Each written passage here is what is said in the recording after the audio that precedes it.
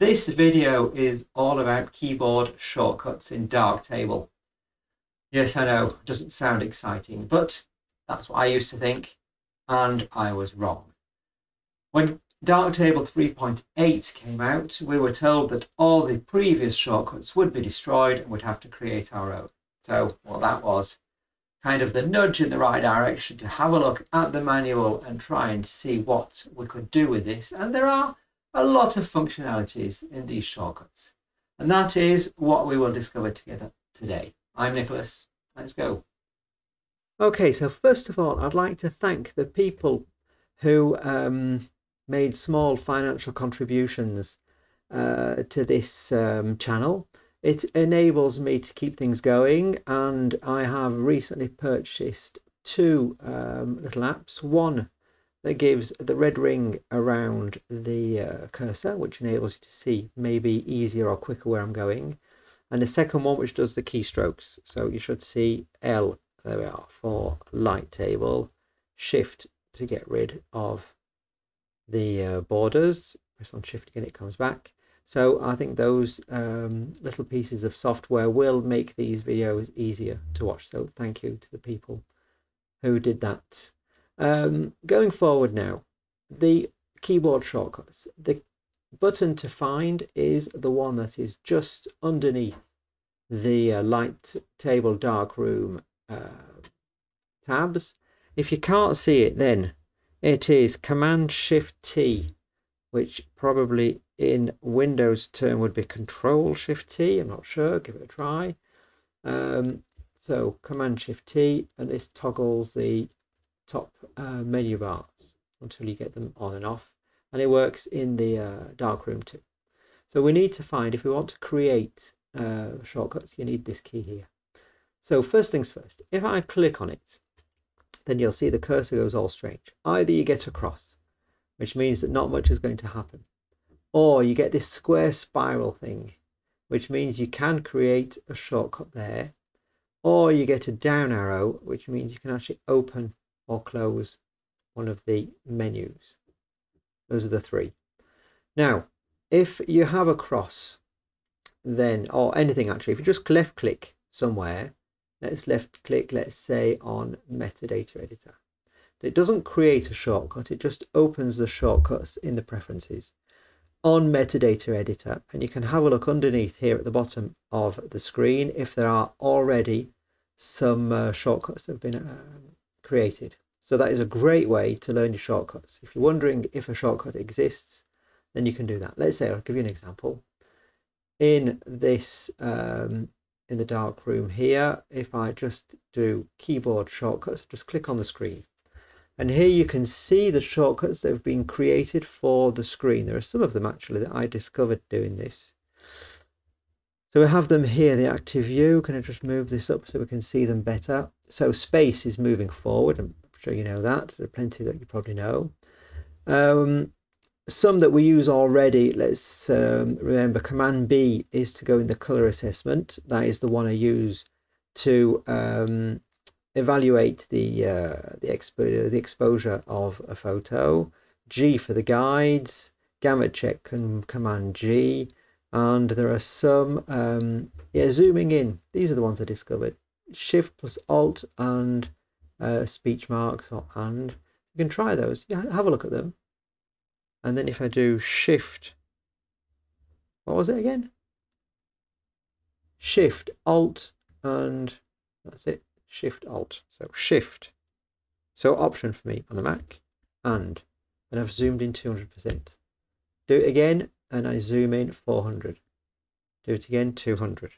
If I do Shift um, uh, Option and then the uh, what's 2 on my keyboard, then I go to 47% zoom and if I do a 3 it goes back to fit.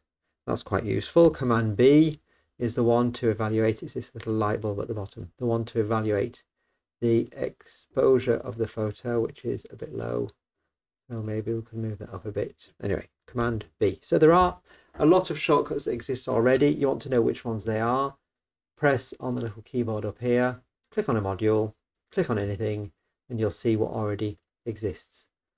Um, so that is that was actually not in the module. I was in the uh, quick access panel.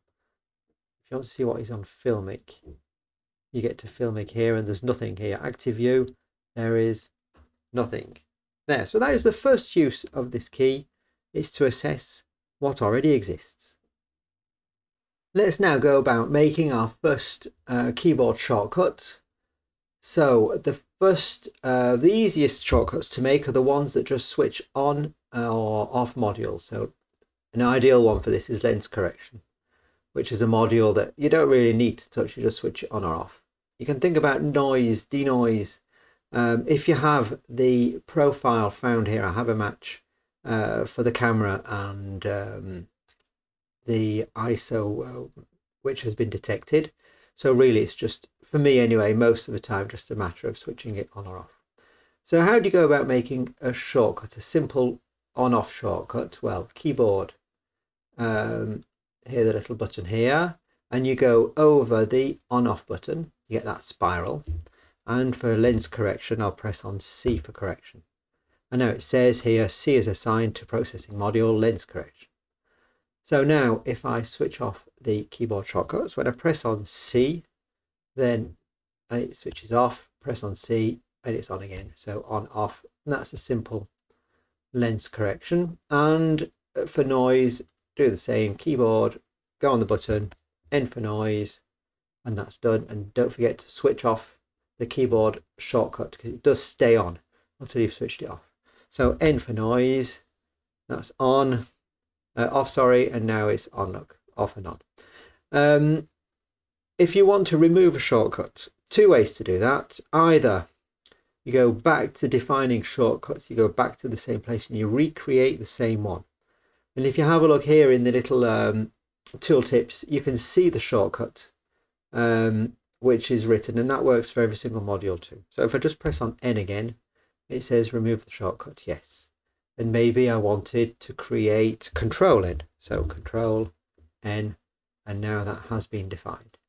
If I want to remove that shortcut, the, the other way to do it is to go into the preferences in the shortcuts. So I can go straight to the right place by clicking shortcuts and now left click on the module. And if you just do a left click on somewhere, it opens the preferences and I have here control N, processing module, enabled, toggle, and instance preferred. So you can mess around with these. If you stay with clicked, if you click, you can have a menu. So we can either just show the module, a focus, instance. Um, so if I do instance, let's say, um, and I go I'll clear that, and I do control N, then I have the instance menu where I can have a new instance, duplicate instance, etc. Um, you can also if I go back to that place, click on it instead of instance, I can just show, enable, let's say, and instead of toggle here, you can just say, oh, I just want to switch it on. Because you know that if you switched it on, you don't want to switch it off again, which means if you press on the key again by accident, it won't switch off. That is for you to choose.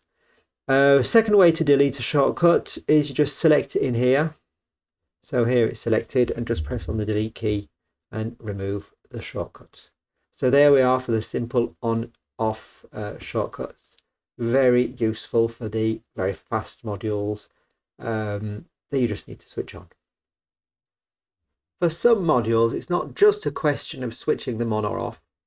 Um, we just we'd like to go to the module because there are many um, options to choose from. Let's say Filmic color balance.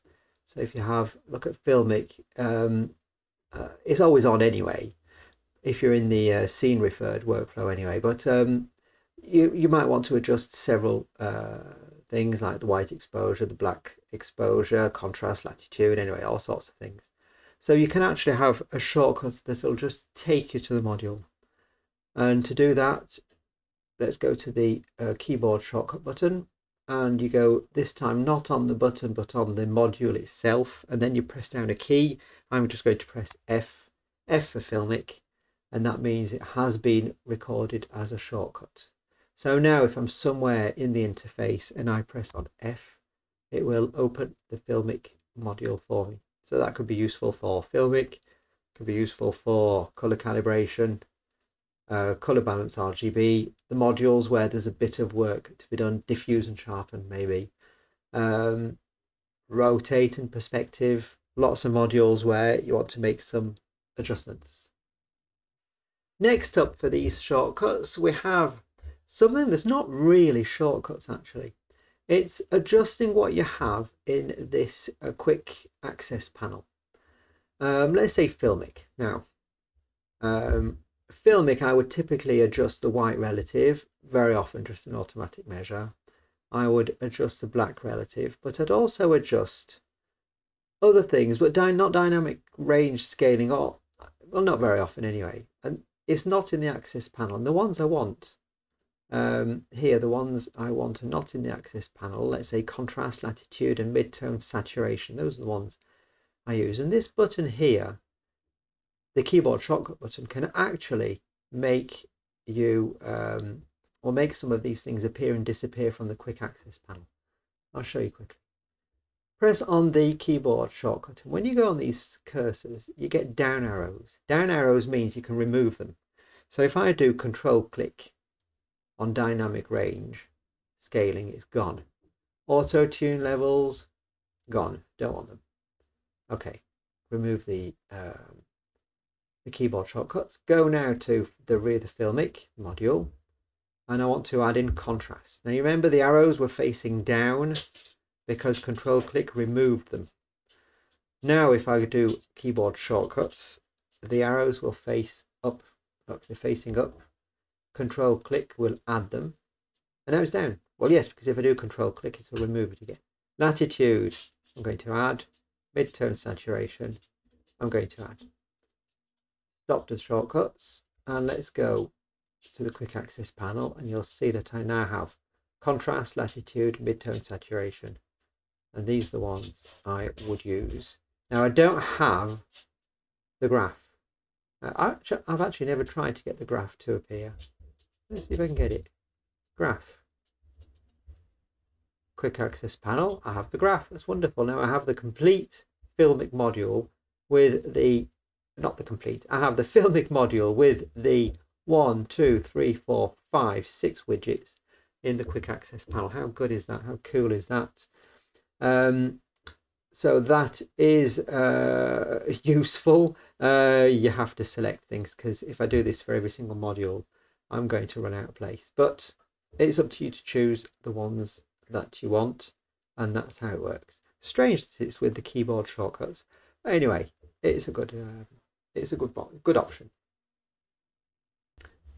The last use case for these keyboard shortcuts for today are um, adjusting sliders with just a mouse movement. Now, when I say mouse movement, it also works with MIDI devices. So I suppose we're talking about knobs, buttons, um, all sorts you can of things you can twist and turn with um, with with uh, controllers, whether they're game controllers or those special devices they use for um, uh, for image processing. I don't have one, I only use the mouse. This one is a bit delicate for me to use because sometimes I just can't get it to catch on. Maybe that's due to the um, the fact that I'm on Mac and it was originally made for Linux. I don't know. It it always works, but sometimes it's a bit fussy to get to use. Let's do that with exposure. Let's say if I want to press, if I press on E and move the mouse button, then I want to be able to control just stay pressed on E and I want to control the exposure. That's what I want to do. It doesn't work yet. How do you get it to work? Press on keyboard shortcuts. Hover over the cursor that you want to um, that you want to control. Stay pressed on the shortcut button. For me, it's E, and then you move the mouse. No clicks. Then you move the mouse. See, I didn't catch it there. You have to be able to catch it. There. Got it second time. Now, once you've caught it, you can stop, let go, switch off keyboard shortcuts. And now if I go in the middle of the screen here, press on E, and if I move the cursor left or right, I will adjust the exposure. Now it's a little bit, there's a bit of a lag.